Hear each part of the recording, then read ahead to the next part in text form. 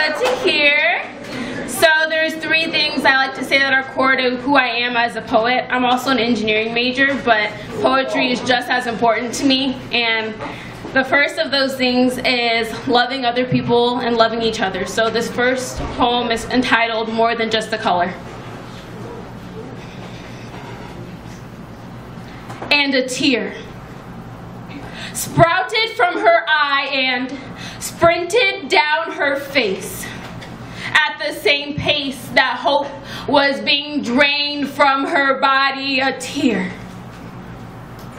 Dense with the echo of those people telling her what she couldn't do. Full of the failures from the time she tried anyway. Overflowing with the hurt she felt when she found her arms burning from reaching out to people who refused to grab her hands through everything. She kept her head so high, but so deep inside her true feelings she would hide, yes.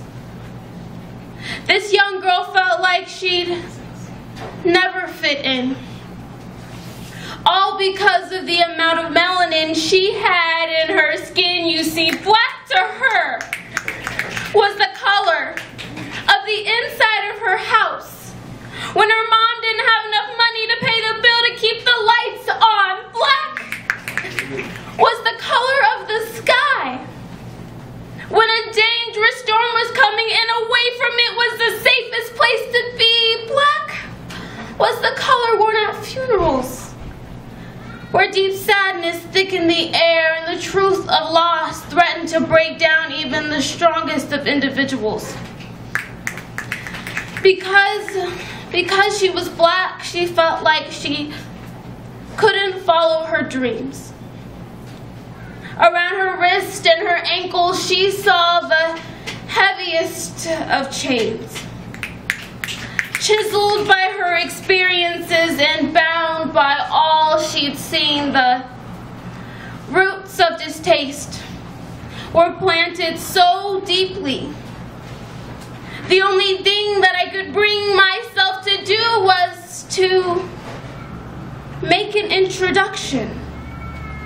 So I asked this young girl, have you ever met you?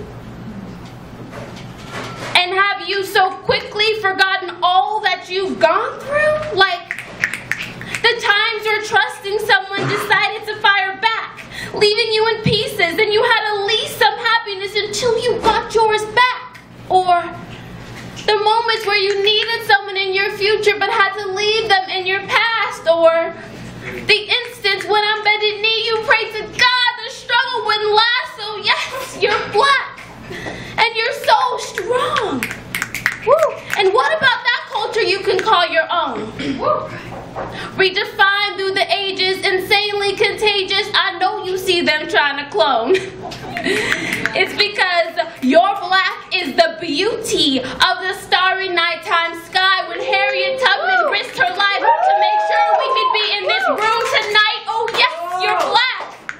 It's the passion of Rosa Parks to sit down and the courage to face the consequences and action so very profound. Young girl, you're black.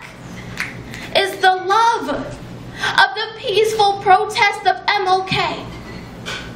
Because mediocre treatment wasn't good enough and it was time to pave a new way. In order to bring somebody up, sometimes you first have to come down.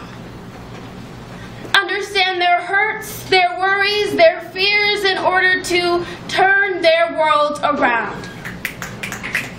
Know that every time you define yourself, in part, you help to define others too. But time is up. We need change now. And it has to start with you.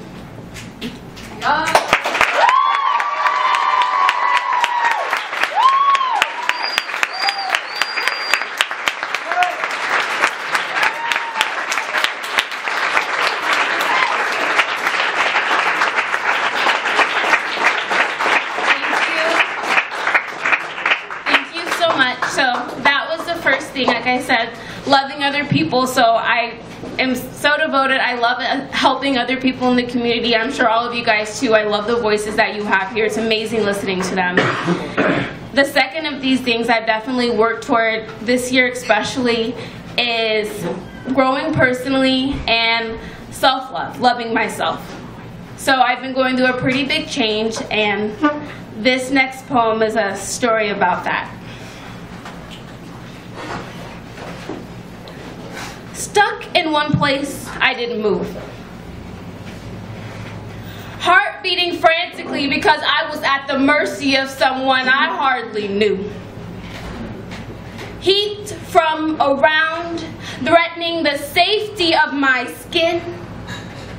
Eyes slowly filling with tears, I just couldn't hold it in. I felt the burn like a razor scraping layers at my scalp.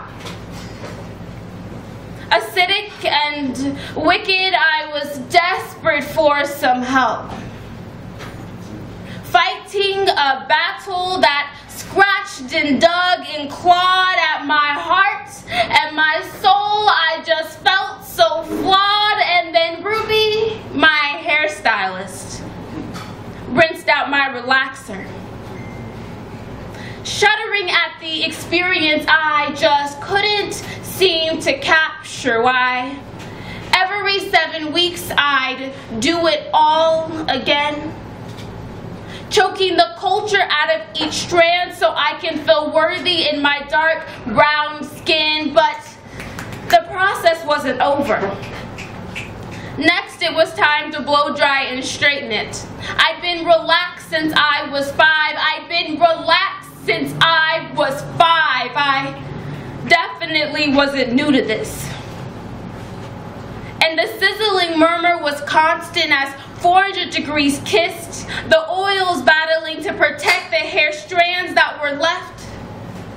The smell of burnt products permeated the room as my hair and readied irons finally met.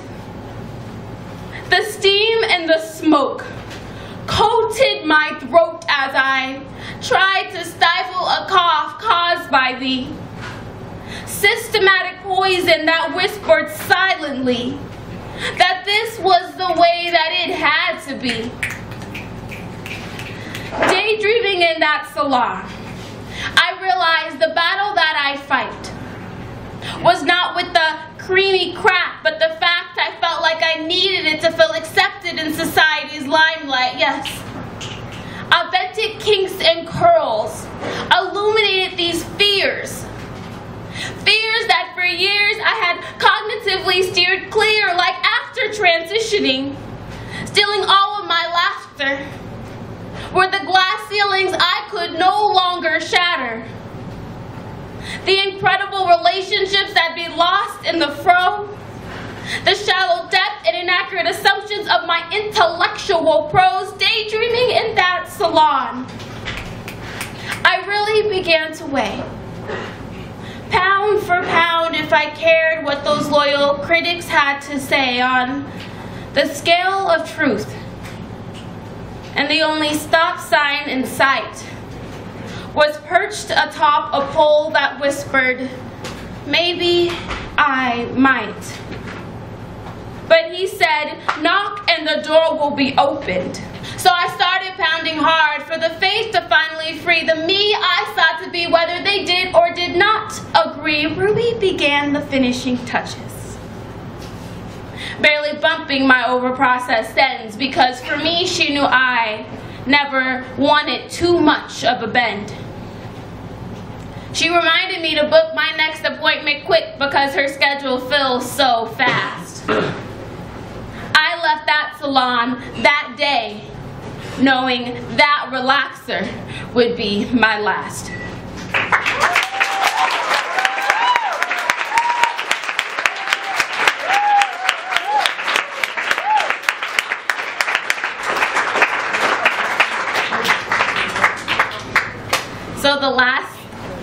Emphasis that I've had, at least this past year, has been on growth, personal growth, just in all ways, working to become the person of my dreams, which might sound a little funny, but that's something that I've definitely been working on. So what I've done is I've uh, created a website, so if you're interested in looking more at more of my work, kendallstokes.com, and I also have a YouTube channel. That's linked from my website, so that's if you're interested.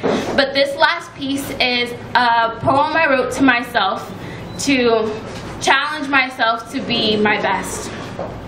And I want to share that challenge with you all today.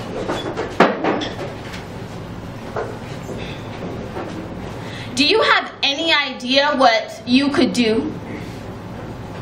How your biggest adversary in this life is you? And the delays that you make in entertaining the snake's will negatively impact you more than I can delineate except how everybody wants to eat.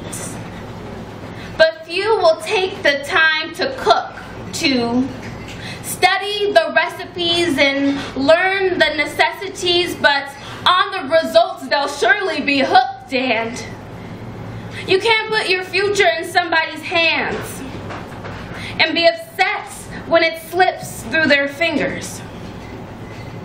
Whether it's a friend of a lifetime, a family member, or your love that you do anything